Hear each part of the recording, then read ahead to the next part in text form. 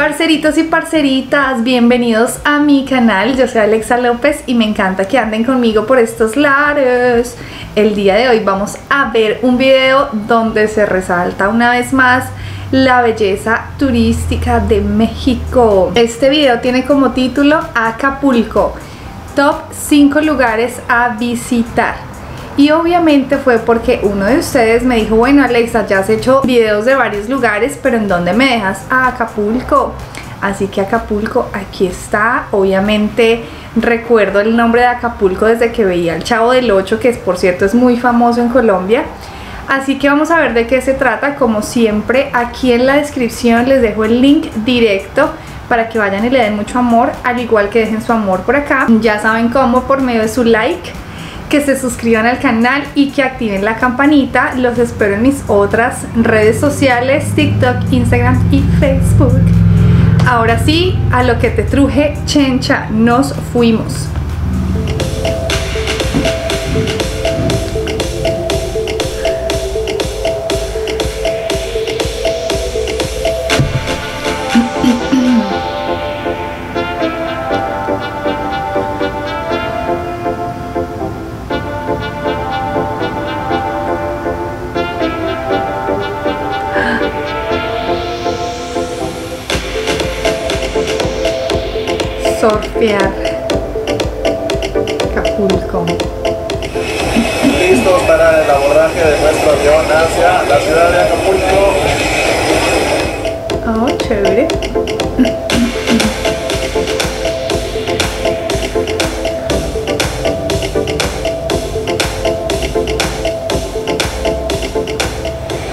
Y arribamos a Acapulquito después de dejar un um, tiempo muy frío en Texas llegamos al calorcito de Acapulco, Acapulco.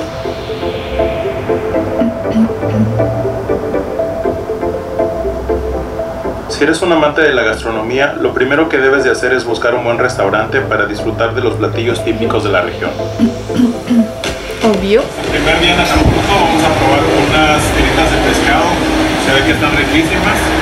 Y pues eh, nos estamos tomando una cerveza Victoria, riquísima con juguito de limón, salita, mmm, riquísimo. Está llegando el plato fuerte que viene siendo el cóctel de camarón, pulpo y caracol. Este cóctel, como saben, está acompañado de salsa picante y salsa de tomate, salsa ketchup. Entonces vamos a probarlo, se ve delicioso. Acompañado de nuestra cerveza, pues, después de haber comido el cóctel de camarón y todo eso, eh, pedimos unos morritos de pesquela que pues, se ve que están riquísimos, que son fritos, ajillo, tienen un poco de chiles guajillos fritos, eh, vienen con un poco de arroz, ensalada. y después de una rica comida y acercándose el atardecer, nos dirigimos a pie de la cuesta. Este lugar es famoso a nivel internacional por sus hermosas puestas de sol y su playa de fuerte oleaje. Ok, buen dato.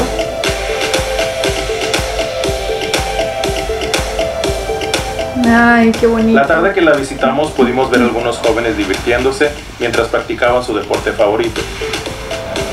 Surf. Por las olas fuertes lo pueden practicar ahí. Esta playa es un lugar excelente para apreciar la belleza del mar a través de unos atardeceres maravillosos, donde el romanticismo de la puesta del sol y el ambiente relajado de la playa definitivamente te cautivará. Son unos duros esos surfistas. Eso no es fácil. Si no es fácil eh, coger una patineta y hacerlo en tierra como será en agua. Pasión para todo lo que hacen. ¡Ay, piñatas! ¿Por qué? ¿Por si se celebra una fiesta? Y llegamos a Caleta Caletilla, dos de las playas más tradicionales en Acapulco. Aquí tomaremos una lancha para visitar la isla Roqueta. Cabe mencionar que hay dos tipos de traslados hacia la isla La Roqueta. El primero es uno con paseo y visita a la Virgen de los Mares que se recomienda a los que visitan por primera vez. y el segundo que es un traslado directo desde el muelle de Caleta hacia la isla. Después de haber hecho el recorrido aproximadamente 10 o 15 minutos en lancha hemos llegado a Isla Roqueta. Mm, la isla La Roqueta es considerada uno de los lugares más hermosos de Acapulco.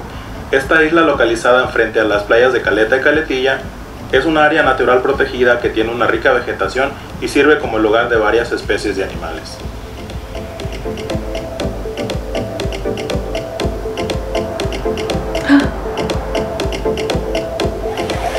Aquí podrás disfrutar de un oleaje tranquilo para nadar y relajarte. En este lugar puedes practicar diferentes actividades acuáticas como snorkeling, paseo en banana y paddleboarding. Yo me aventuré a hacer un poco de snorkeling.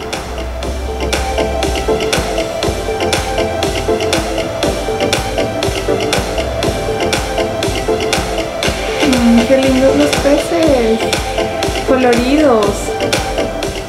Fue un momento muy emocionante el poder ver todos esos peces de colores y poder alimentarlos en su hábitat natural.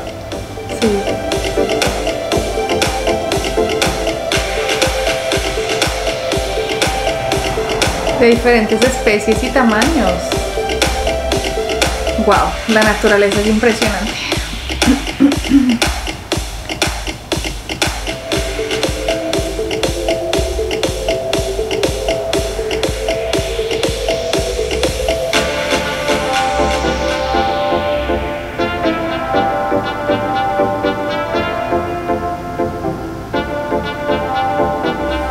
Tenían ahí algo sobre esa lancha, ¿qué es?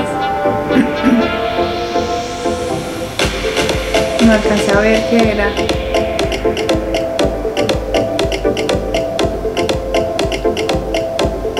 Oh. Algo super cool es la forma única en que los vendedores te ofrecen sus artesanías. Puedes comprar tus souvenirs sin salir del agua.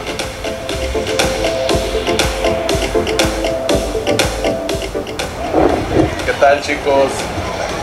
Hemos concluido nuestra visita a Isla Roqueta, son 5 de la tarde, a las 5 de la tarde eh, viene ya la última lancha de regreso acá a Playa Caleta. Eh, nos la hemos pasado muy bien, hicimos un poco de snorkel y estuvimos nadando, relajándonos un poquito en ese lugar hermoso.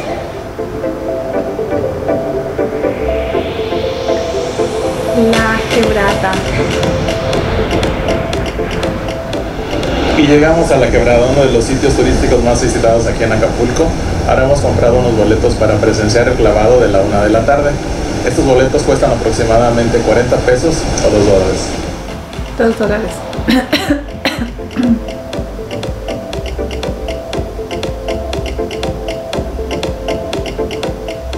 Esta tradición comenzó en 1934, cuando dos pescadores se retaron a saltar desde la quebrada y de ahí a la fecha este espectáculo de nivel internacional se sigue presentando varias veces al día.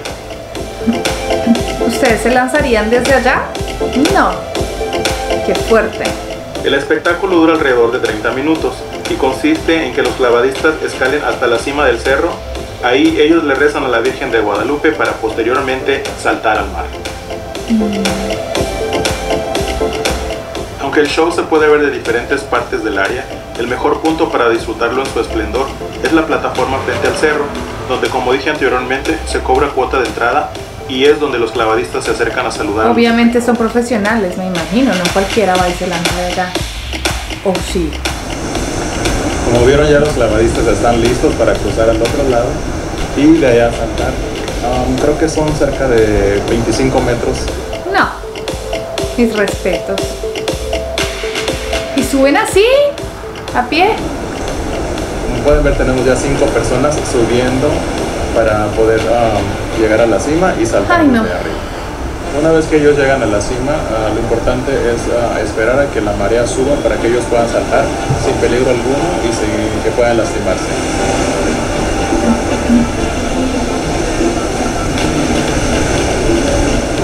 Mi respeto. No, obvio que son profesionales. Obvio. Incluso hizo su figurita y todo ahí.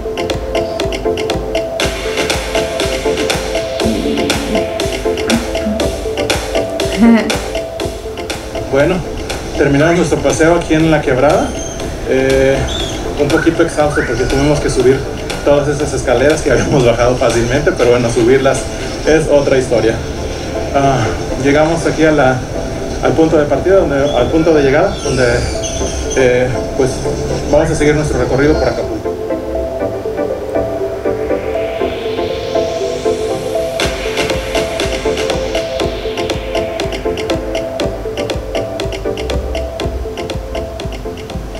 Y finalmente arribamos a la Capilla de la Paz, aquí en el área de las brisas en Acapulco. Esta capilla se sitúa en una de las zonas más elevadas de Acapulco su principal característica es que ahí se pueden realizar ceremonias de diferentes religiones. Diferentes religiones.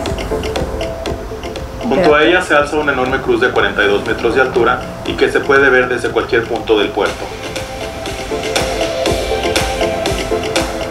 Ahí se encuentra una escultura de bronce que representa dos manos derechas que oran apuntando hacia el cielo. La escultura fue diseñada en honor a dos hermanos que perdieron la vida en un accidente aéreo y eran hijos de los fundadores del fraccionamiento donde se encuentra esta capilla. Qué triste.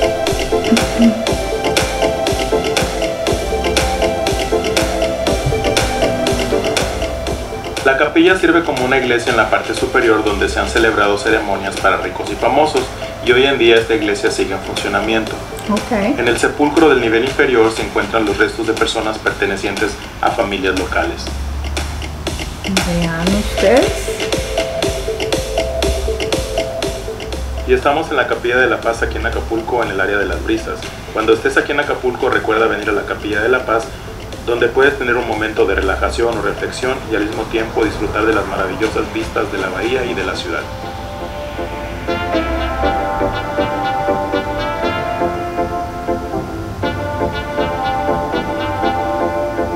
Se ve muy lindo, muy relajante. Ahora llegamos al fuerte de San Diego. Esta fortaleza fue construida en el siglo XVII para proteger al puerto de los saqueos y los ataques de piratas. Este es el monumento histórico cultural más importante de la región. Ay, chévere. El fuerte de San Diego fue construido hace más de 500 años por la necesidad de cuidar al puerto y el comercio marítimo que llegaba de China. Hoy en día es el Museo del Fuerte de San Diego y este museo consta de 12 salas de exhibición permanente y una sala de exhibición temporal.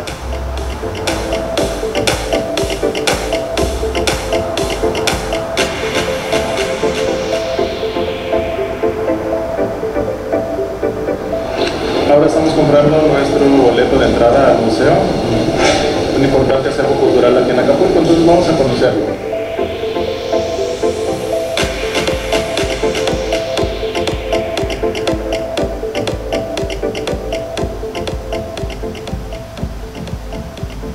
Bonito, interesante. Aquí podemos ver la maqueta del fuerte.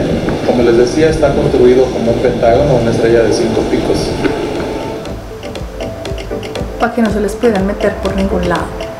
Una de las salas más importantes es la sala de comercio, seda, marfiles, mobiliario y la de la porcelana, que muestra el intercambio comercial de la época.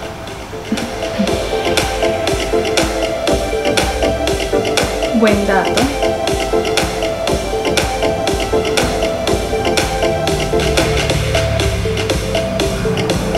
Ahora estamos en la capilla del, del museo. La sala de la capilla del fuerte es importante mencionar, ya que la corona española intentaba propagar la fe católica en todos sus territorios. Como ven a mis espaldas puedes divisar toda la bahía y sin duda este era el punto estratégico que los españoles escogieron para proteger la ciudad de los ataques de piratas y saqueos. Grande. Este museo no es tan extenso, uh, lo puedes recorrer en aproximadamente una hora, donde aprenderás desde los primeros pobladores de Acapulco hasta la Guerra de Independencia. Así que cuando estés aquí en Acapulco recomiendo que lo visites. Bueno, terminamos nuestro recorrido aquí en Acapulco, donde estuvimos en cinco lugares. Eh, estuvimos primero en Pío de la Cuesta mirando la, la puesta del sol. Después fuimos a la isla Roqueta, donde estuvimos haciendo un poquito de snorkel. Después uh, regresamos a la quebrada para ver los clavadistas en la quebrada. De ahí fuimos a la Capilla de la Paz a ver unas maravillosas vistas de la ciudad y de la bahía. Y ahora concluimos nuestra visita aquí en el fuerte de San Diego. Bueno, espero les haya gustado mi video y uh, si me pueden apoyar con likes se los agradecería y si suscriben sería grandioso.